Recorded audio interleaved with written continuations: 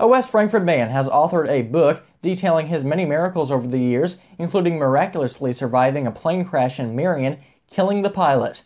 I got the opportunity to sit down with Todd Greiner to discuss the book.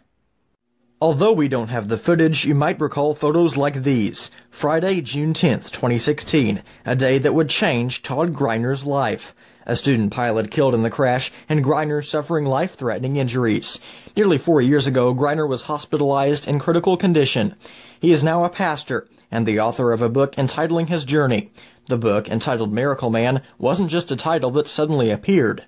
It's entitled Miracle Man. Here it is right here, Miracle Man. And uh, the reason for that, I didn't come up with that name.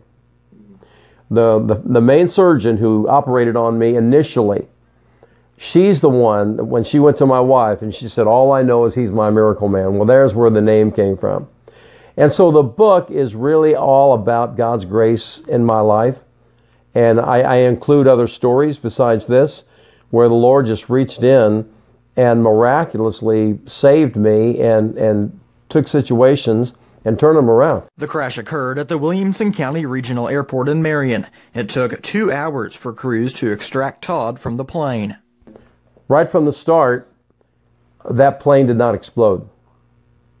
And we had full tanks of gas.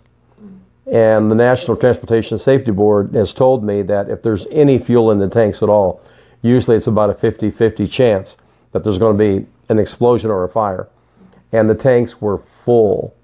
So it didn't explode, which was the first miracle. And it was a location of the helicopter that had to take me and transport me to St. Louis. If they hadn't been where they were, I would have died because the uh, the technician who worked on me, he told me after I got out of the hospital, he said, Todd, I saved your life, which God really used him, but I was drowning on my blood. And if he hadn't intubated me when he did, he said, Todd, when I got to you, you had one, maybe at the most two minutes to live. And that was all. Only eight months after the initial accident, Greiner was back in the air. His book not only details the Marion plane crash, but also details numerous other instances in which the Lord had his hand on Greiner. The book can be purchased on Amazon by searching the keyword Miracle Man and selecting the book cover. And following the interview, Greiner let me have a copy of Miracle Man. I've already gotten through about a quarter of the book, and let me tell you, it is definitely something worth reading.